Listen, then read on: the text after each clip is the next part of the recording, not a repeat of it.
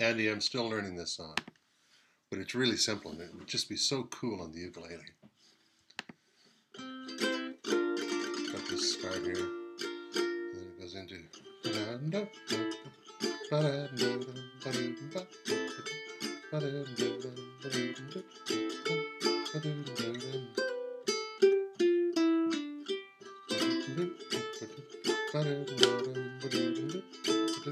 That's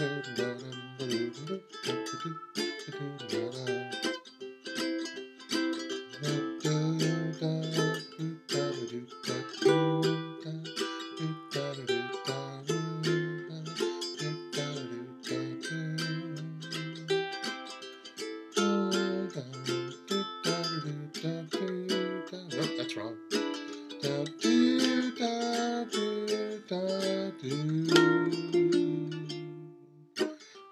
You